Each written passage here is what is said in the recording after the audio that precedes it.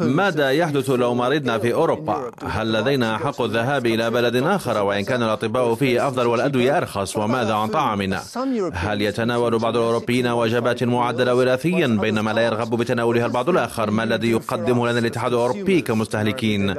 هنا في آي تولك سيجيب على هذه الأسئلة من البرلمان الأوروبي في بروكسل المفوض الأوروبي لشؤون الصحة وسياسة المستهلك. السيد دالي نشكر حضورك. نبدأ بسؤالنا الأول وهو سؤال سريع.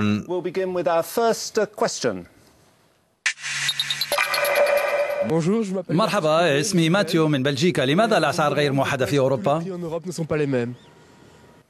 سؤال بسيط جدا. أعيش في باريس وبرلين. سعر مادة تنظيم الفم أربعة يورو في برلين وسبعة يورو في باريس لنفس المنتوج ونفس العلامة التجارية. لماذا تختلف الأسعار؟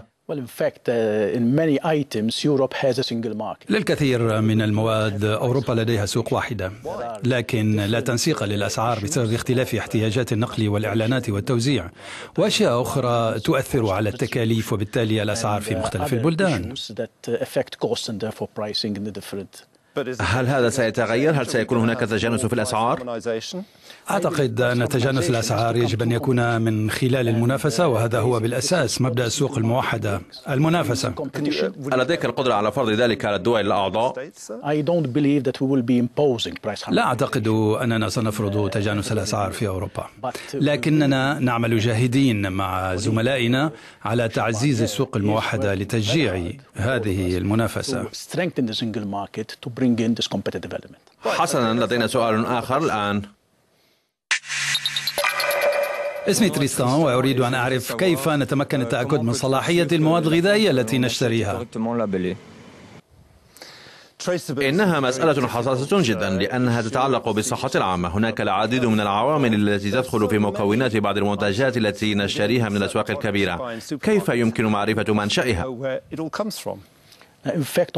في البرلمان اتخذت إجراءات في هذا المجال كوضع العلامات على بعض المواد الغذائية والمنشأ لبعض منها.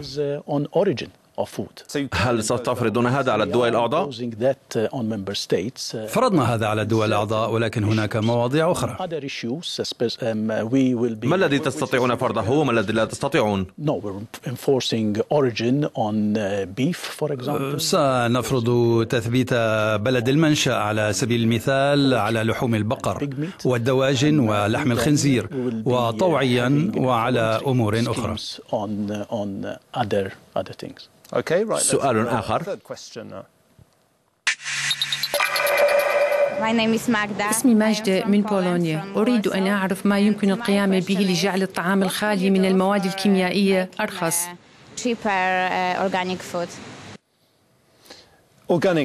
الأغذية الخالية من المواد الكيميائية أغلى من الطعام العادي. كيف يمكن تخفيض أسعارها؟ الأغذية الخالية من المواد الكيميائية أغلى لأن طرق الإنتاج مكثفة للغاية في جميع البلدان.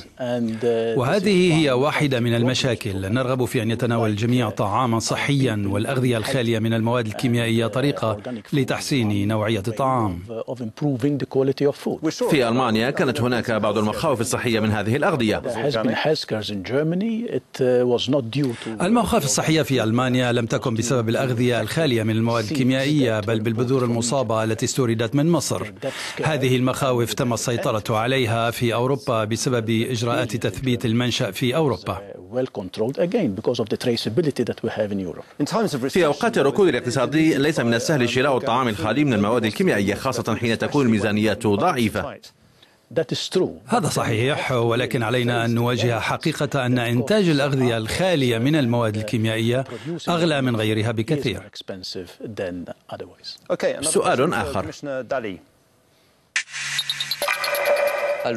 مرحبا اسمي روبن وأنا من المانيا هل نتناول الاغذيه المعدله وراثيا؟ إنه سؤال مباشر للغاية هل تتناول الأغذية المعدلة وراثيا؟ أستطيع الإجابة على هذا ببساطة إن كانت معتمدة من قبل المتخصصين لدينا الجواب هو نعم لكنك غير قلق بسبب اختلاف سياستنا عن سياسة أمريكا بشأن ما إذا كانت الأغذية المعدلة وراثيا غير مأمونة إننا لا نتفق معهم is safe. We've never agreed with them. We don't have uh, a different policy. ليس لدينا سياسة مختلفة بل إجراءات مختلفة. نحن من يقرر إن كانت الأغذية المعدلة وراثيا آمنة أم لا. لا نؤمن بما يقوله الأمريكان شفويا. لدينا أسلوبنا الخاص وهو قوي وصارم وسريع. نتخذ القرار على أساس علمي. إن قررنا شيء في الاتحاد الأوروبي فلأنه قد مر بنظام السلامة النوعية الصارم. ولأنه معتمد فإنه آمن.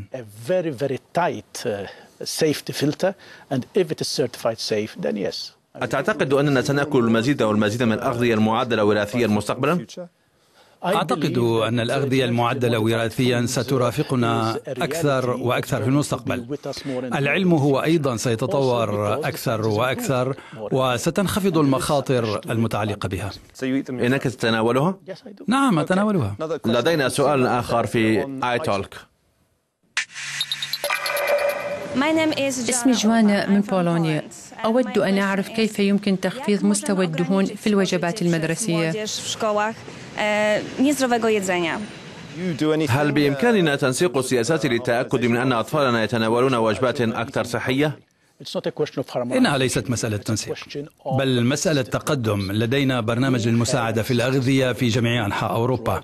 من خلال اللجنة عن طريق توريد الفواكه إلى المدارس مثلا.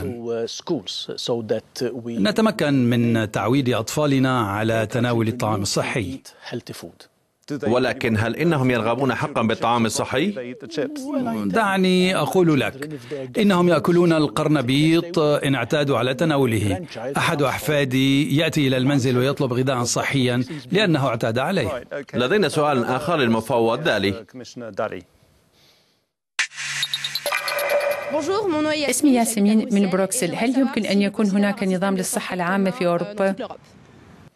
وجهت هذا السؤال في البداية. هل يمكنني اجتياز الحدود إذا وجدت هذا النظام أفضل في بلد آخر؟ uh, أصدرنا توجيهات جديدة عن العلاج خارج الحدود وعن حق المريض في العلاج خارج بلده. لكنها محدودة.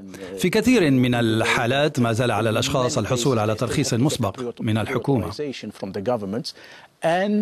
هذا يبدو معقدا. لا لا لا إنه ليس معقدا في الواقع. لقد حددنا عملية الترخيص المسبق ولكن ما فعلناه هو ضمان تعويض المريض حين يعود إلى الوطن. في المستقبل ترى بأن الأشخاص سيذهبون إلى مكان آخر من أجل رعاية صحية أفضل؟ أستطيع أن أرى هذا في المستقبل ولكن هذا ليس في نطاق توجهنا. إننا نريد الضغط على الحكومات لتقديم أفضل خدمات الرعاية لجميع المرضى في بلدانهم. سؤال أخير موجه للمفوض دالي. اسمي سوزان من إيرلندا الشمالية. هناك تفاوت كبير في توفير الرعاية الصحية للنساء المهاجرات من بلدان العالم الثالث إلى دول الاتحاد الأوروبي. كيف يمكن التصدي لهذه المسألة والتأكد من تمتع جميع النساء بالرعاية الصحية. الرعاية الصحية للمرأة موضوع واسع. هل هناك ما يمكن القيام به على المستوى الأوروبي؟ Inequalities, I believe, is a big issue in Europe. أعتقد أن عدم المساواة مشكلة كبيرة في أوروبا. لكننا نتصدى لها عن طريق الاستثمار. فمن خلال الصناديق الهيكلية التي أوجدناها نستطيع الآن تشجيع قطاع الرعاية الصحية للدول الأعضاء على الاستثمار. أما فيما يتعلق بالمرأة إننا نتناقش لاتخاذ تدابير تساعد على المساواة في هذا القطاع. Thank you very much indeed, uh, Commissioner Daly. That's it from our... شكرا جزيلا سيادة المفوض دالي هذا كل شيء الآن من استوديو البرلمان الأوروبي لمعرفة ضيوف الحلقة المقبلة وتوجيه أسئلتكم اكتبوا لنا أو ارسلوا أشرطة الفيديو على on www.euronews.net slash i-talk. See you soon.